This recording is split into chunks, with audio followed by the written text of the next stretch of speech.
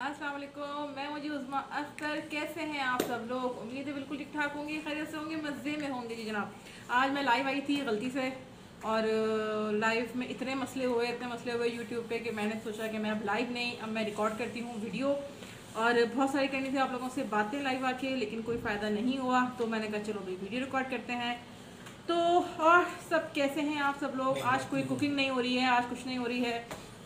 आज जो है बस आप लोगों से थोड़ी सी होंगी बातें साथ साथ हम लोग पियेंगे ज़बरदस्त वाली चाय। चाय की मैं रेसिपी आपको ऐसी बता दूँगी वर्बली और मुझे तो कहते हैं उस्मा अख्तर लेकिन मेरे अख्तर कौन है मैं वो भी दिखा देती हूँ क्योंकि मैं अकेले क्या बातें करूँगी। तो आइए जी ये हैं जी मेरे अख्तर। बैठिए जी कैसे हैं आप? अस्सलाम क्या हाल है जनाब? इधर आ जाए मेरे साथ ही आ जाए। तो कैमरे में नज़र नहीं आ रही है। ओके। थोड़ा सा कैमरे को नीचे करना पड़ेगा। देखिए सर बातें करने नज़र नहीं आ रही ना तो बस नीचे करना कैमरे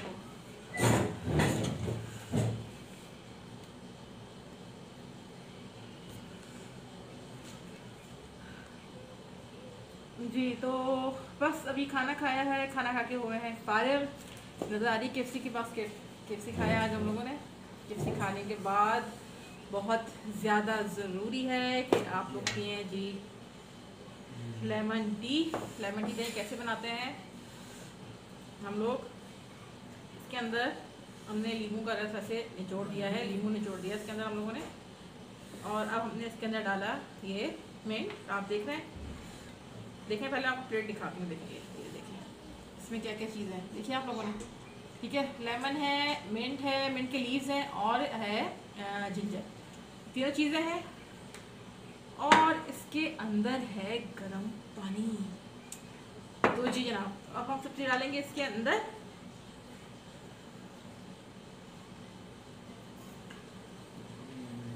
इनका काम है वैसे ही बनाना। ये लेमन टी खाने के बाद डेली हम लोग रात में पीते हैं कि शायद थोड़ा वज़न कम हो जाए लेकिन नहीं पता नहीं कहाँ जाता है वज़न। समझ ज़्यादा नहीं तो- आता। नहीं वज़न इतना ज़्यादा तो नहीं है लोगों का लेकिन फिर भी ये है गरम गरम पानी डालें और डेली पिया करें। बहुत ज़बरदस्त होती है बहुत अच्छी होती है।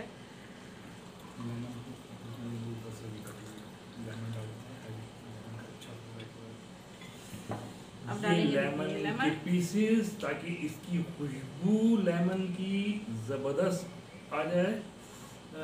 ये हमने इसके अंदर लेमन के पीसेस डाले। इसके अंदर लेमन का जायका बहुत ज़बरदस्त आता है इससे। तो इंजॉय कीजिए हमारे साथ। आप भी lemon water. Lemon ginger water इसके बहुत से फ़ायदे हैं। तो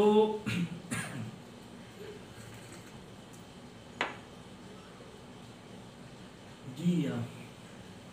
तो आपने दिखा दिया कितना खूबसूरत लग रहा है आपको आप देख रहे हैं?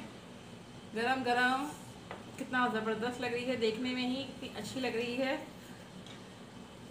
और हनी आप डालना चाहें तो उसके अंदर हनी ऐड कर लें तो और मज़े की हो जाएगी। हम्म। बाकी ये कि आप काली मिर्च थोड़ी सी डालना चाहें वो डाल लें उसके ऊपर आपकी मर्ज़ी है। जी तो आज हम लोगों को जाना था आज फ्राइडे हम है। लोगों को निकलना था बाहर। लेकिन शायद आज फ्राइडे की वजह से नेट थोड़ा स्लो चल रहा है।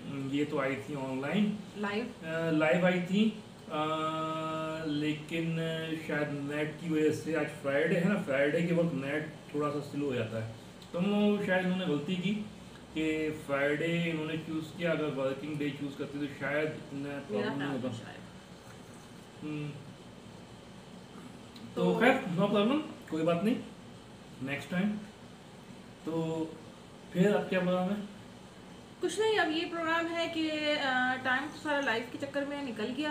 अब ये कि बस चाय पी के निकलेंगे थोड़ा सा आज प्लान था कि थोड़ा सा ज़रा सेंटर पॉइंट वगैरह जाने का था मूड कि आज वहाँ जाएँगे।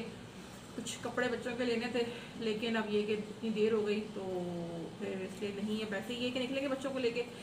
पार्क्स वगैरह में भी यहाँ मना कर दिया है कोरोना की वजह से हम लोग भी बहुत ज़्यादा एहतियात कर रहे हैं क्योंकि केसेस थोड़े से यहाँ बढ़ने लगे हैं तो फिर हम लोगों ने भी ज़रा एहतियात कर लिए तो बच्चों को ये लेके पार्क लेके नहीं जाते जबकि मौसम थोड़ा सा ऐसा है कि बाहर बच्चों को लेके जा सकते हैं मतलब मक्के का एहतियात मौसम एहतियात हाँ, करें तो अच्छा ही है एहतियात एहतियात करें तो ज़्यादा अच्छा है क्योंकि केसेस जो है मेरे ख्याल में आज भी जो है फोर हंड्रेड प्लस केसेस आए हैं।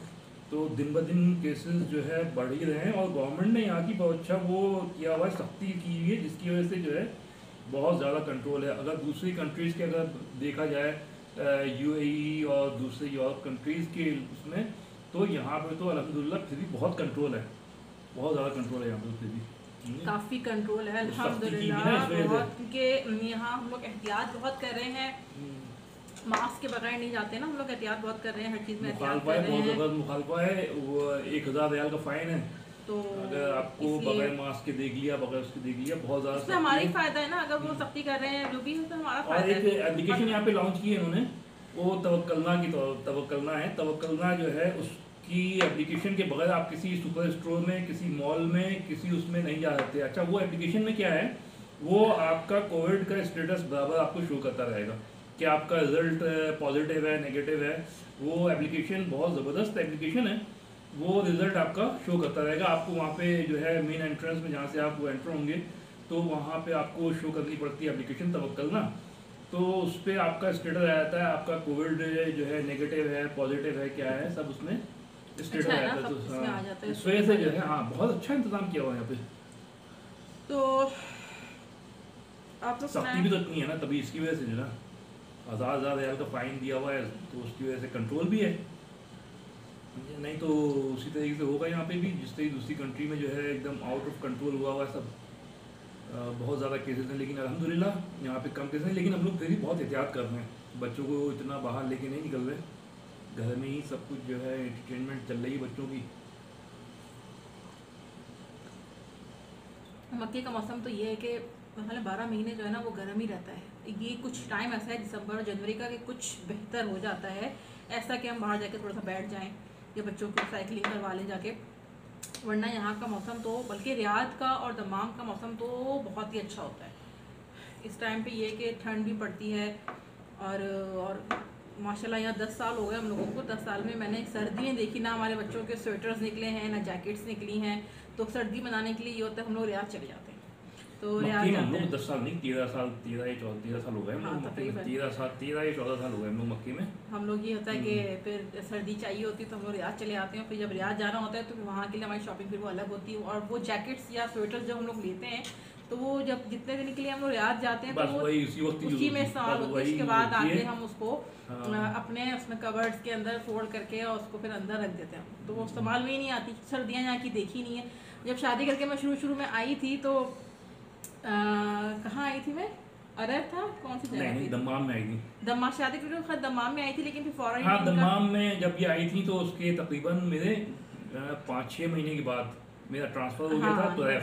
हाँ ओ तुरैफ। की सर्दी है उफ माइनस टेम्परेचर होता था माइनस टेम्परेचर हम्म। और सर्दी की इतनी आदत नहीं थी नई नई शादी हुई हुई थी तो वहाँ इतना माइनस में वो टेम्परेचर वहाँ पे जो है फिर हम लोगों ने खैर वो जब ये हाँ, ऑफ़िस जाने के लिए हाँ, जब ये सुबह निकलते थे ऑफ़िस जाने के लिए तो पहले गाड़ी से वो पूरी बर्फ़ ये साफ़ करते थे और फिर ये गाड़ी में डालता था उसकी हाँ। विंड के ऊपर जो है ना। कि वो इतनी ज़्यादा वहाँ वहीं और सिर्फ़ सिर्फ़ हम लोगों ने वहीं ठंड देखी। बाकी यहाँ पे और भी जगह है अभा है अभा में बहुत पड़ती है ठंड। मक्का हाँ। से अगर आप तकरीबन 800 किलोमीटर हाँ, हाँ, अबहा जो है हाँ। यहाँ से मक्का से कोई तकरीबन छः आठ- सौ छः सात सौ सात सौ हाँ, किलोमीटर ऊपर चले जाए। तो थोड़ा बहुत हाइट पे हुई है। वो हाइट पे लेकिन बहुत लेकिन उसके करीब भी मैं रह चुका हूँ ये भी रह चुकी हैं। हाँ। अल्बाहा में भी हम लोग काफ़ी टाइम रह क्योंकि ट्रांसफ़र इतना हुआ है ना इनका। ट्रांसफ़र इतना होता था शुरू शुरू में तो पूरा सऊदिया तकरीबन हम लोगों ने घूम लिया था। लेकिन हाँ। ये कि जो हम लोगों को ठंड मिली थी वो सिर्फ़ ये थरी मिली थी हम लोगों को। हम्म, अल्बाहा का अच्छा भी मौसम अल्बाहा का भी अच्छा मौसम हम लोगों को मिला अच्छा एंजॉय किया हाँ। हम लोगों ने। लेकिन ज़्यादा टाइम नहीं रहा अल्बाहा में। कम कम टाइम के लिए होता था हाँ, छः सात महीने आठ महीने रहा वहाँ पर तो- अल्बाहा में। फिर उसके बाद तो रैफ चला गया। बड़े लेकिन जब हम लोग अरहर में थे तो वहाँ हम लोग अरहर से निकल के दमाम आते थे अपना जब मूड होता था तो हम लोग दमाम चले आते थे। तो एक दफ़ा हम लोग जब दमाम जा रहे थे तो किस्से कहानी कहानियाँ भी बहुत होते थे। तो इन्होंने गाड़ी के अंदर भर के रखा कूलर पानी का कि भाई रास्ते में जा रहे हैं तो वो पानी वानी पी लेंगे क्योंकि अरहर से दमाम का कितने घंटे का रास्ता था? तेरह घंटे का रास्ता तेरह हाँ, चौदह घंटे का रास्ता था। बाई रोड तेरह घंटे का रास्ता था हाँ। तो नॉर्मल में अपनी गाड़ी में ही जाता था। तो अपनी गाड़ी क्योंकि से यहाँ पे जो है हाँ रोड वगैरह तो बहुत अच्छी बनी हुई है। तो जो है इसकी वजह से जो है अपना लेकिन हम लोग जिस घर जो उन्होंने लिया हुआ था में वहाँ यकीन करें थे जिन्नात। जिन जिन्नात थे और जो है हम लोगों को पहले तो आइडिया नहीं हुआ। कितना? नौ महीने? एक साल? दो साल दो साल वहाँ रहे हूँ। लेकिन मैं तो खैर पाकिस्तान चली गई थी बीच में लेकिन ये वहाँ रहे थे तो वहाँ तो यकीन करें माइनस टेम्परेचर पे रात के तकरीबन नौ बजे के बाद सब सन्नाटा हो जाता था वहाँ पे। तो जब हम लोग घर में होते थे तो अपना टीवी वगैरह लगा के देखते थे तो 11 बजे 12 बजे जो है मुस्तकिल जो है बच्चों के खेलने की आवाज़ें आती थी छत पे। और दौड़े लगा रहे हैं बच्चे हंस रहे हैं खिलखिला रहे हैं। एक्चुअली वो एक वो जो है एक विला यानी कि एक बड़ा हाउस था वो मैंने रेंट पे लिया था। ग्राउंड फ्लोर पे जो है, वो रहते थे अपना मालिकान रहते थे। और फ़र्स्ट फ्लोर पे मैं था, बहुत बड़ा विला था तो उसने जो है दो पार्टीशन किए हुए थे विला के। एक पार्टीशन पे चार रूम थे, एक पार्टीशन पे चार रूम थे। तो एक चार रूम का मैंने लिया हुआ था, एक पोजीशन मैंने लिया हुआ था, और एक पोजीशन पे काफ़ी दिनों के बाद एक दूसरी पाकिस्तानी फैमिली आई थी। और मेरे ऊपर जो है अपना, दूसरे उसमें वो छत थी, खुली छत थी, उसके ऊपर पानी की टैंकी और वो जो है जो सऊदियों का एक नॉर्मल वो होता है कबूतर ये वो सब जो है उस तरीके से था। तो इतनी बड़ी बिल्डिंग नहीं थी सिर्फ़ विला था वो अच्छा बड़ा विला था वो। तो तो उसमें ये हाँ, सब सिलसिला था। जिन जिन्नात थे हम लोगों को आइडिया ही नहीं होता था कि जो है वहाँ पे जिन है लेकिन जब रात को सोने लेटे हैं तो बच्चों के खेलने की कूदने की मतलब नौ दस बजे के बाद और वो बच्चों की दौड़ने की। अब हम लोग जो है खिड़की खोल के पहले देखते थे कि भाई नीचे रोड पे बच्चे खेल रहे हैं माइनस टेम्परेचर और इतनी सर्दी में कौन निकलेगा वहाँ पे? लेकिन जो हम लोगों ने टाइम वहाँ पे गुजारा है ना अल्लाह माफ़ करे जो हमारे साथ किस्से वहाँ हुए हैं ना अगर सुनाने बैठेंगे तो बहुत लंबा टाइम हो लंबा जाएगा। टाइम है लेकिन एक दो किस्से बस आपको बता रहे हैं कि वो ये लेकिन बस ये है कि मैं जो है उस टाइम पे तकरीबन 11 बजे 12 बजे इतनी शदीद सर्दी माइनस टेम्परेचर तो मैंने इनको मिसेस को कहा कि यार तुम एक काम करो मैं जाके देखता हूँ छत पे। हाँ छत पे देखने चले गए। हाँ मैं देखता हूँ छत पे है कौन इस वक्त? यार इतनी शदीद सर्दी में क्योंकि मैं, हमारे मालिकान के भी काफ़ी बच्चे थे ना, वो भी खेलते कूदते रहते तो मैंने कहा, इस वक्त तो बच्चे नहीं आएँगे खेलने के लिए। तो खैर बादल मैं गया ऊपर देखने के लिए, कोई भी नहीं, सन्नाटा एकदम, और तेज हवा चल रही है वहाँ पे, और वो ना कोई बच्चा, ना कोई, ना कुछ तो खैर बादल तो उसके बाद फिर मुझे थोड़ा थोड़ा आइडिया हुआ, नहीं, ये कोई, जो है, इंसानी मखलूक नहीं है, ये कोई और ही मखलूक है। तो खैर बादल बड़ा इंजॉय रहा उनके साथ भी। बहुत इंजॉय किया जिन्नातों के साथ ये देखने जाते थे तो कोई नहीं होता था ऊपर। और मैं नीचे बकायदा मैं मुझसे कहते थे तुम्हें आवाज़ें आ रही मैंने कहा हाँ आप ऊपर गए हैं तब भी मुस्तकिल नीचे आवाज़ें आ रही और वहाँ मेरी छोटी बेटी थी तकरीबन छः सात आठ महीने की थी। लेकिन वो इतना जो है उस वक्त मैं कभी कमरे में छोड़ती थी ना और किचन में मैं काम करती थी तो मुस्तकिल रोती थी। मेरे समझ में ही नहीं आता था कि ये क्या हो रहा है क्या हो रहा है क्या मसला बड़ी है कि क्या मसला है? लेकिन भाई वहाँ तो जिन। जिन्नात इतने थे मैंने कहा भैया आप जो है ना ये घर चेंज करें। तो फिर मैं दोबारा आऊँगी। लेकिन शुक्र ये हुआ कि इनका जो है वो हो गया ट्रांसफ़र हो गया। हो बहुत सारे केसेस ऐसे हुए हाँ। कि जो है वहाँ तो मसले होते थे। फ्रिज में क्या एक दफ़ा फ्रिज का भी कोई किस्सा हुआ था ना? अरे बहुत फ्रिज खुलना बंद हो रहा है सब हो रहा है लेकिन हम लोगों ने लेकिन खैर बाहर अल्हम्दुलिल्लाह हम लोग उस जगह से निकले और उसके बाद हमने जितने घर भी चेंज करे अल्हम्दुलिल्लाह कभी ऐसा हुआ नहीं कि हमें कहीं और जिन जन्नात मिले हो सिवाय उसके। तो गाड़ी में से पा, पानी हमारे हम लोगों ने बताई थी मैं किस्सा कि गाड़ी के अंदर हम पानी फिल किया था और जब रास्ते में हम लोग पेट्रोल पंप पे रुके कि हमने कहा चलो पानी निकालते हैं। जब पानी के लिए कूलर में देखा तो पूरा कूलर खाली।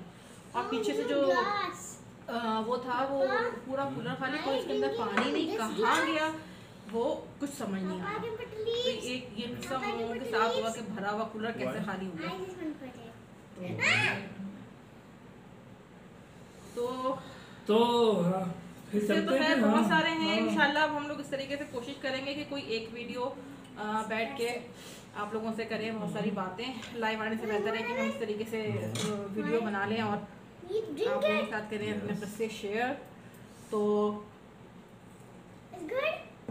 अच्छा है टाइम गुजर जाता है हम लोगों का। जी। ये लगी रहती हैं अपना उसमें चैनल में। आ, तो टाइम अच्छा गुजर जाता है ठीक है?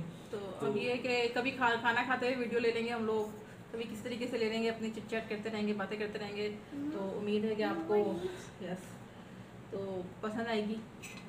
और निकलेंगे अब हम लोग बाहर थोड़ा सा। और फिर मिलते हैं इंशाल्लाह। नेक्स्ट वीडियो पे और दूसरे किस्सों के साथ आज तो जिन जिन्नात के किस्से हो गए और जिन जिन्नात की बहुत सारी कहानियाँ लेकिन जो है वो शेयर करने बैठेंगे तो बहुत लग जाएगा। टाइम मिलते हैं जी नेक्स्ट वीडियो पे। मेरी वीडियो को लाइक ज़रूर करेगा। मेरे चैनल को सब्सक्राइब लाजमी करिएगा। मैं बहुत सारी अच्छी अच्छी वीडियो लेकर आती रहूँगी आपके लिए। तब तक के लिए अल्लाह हाफिज़।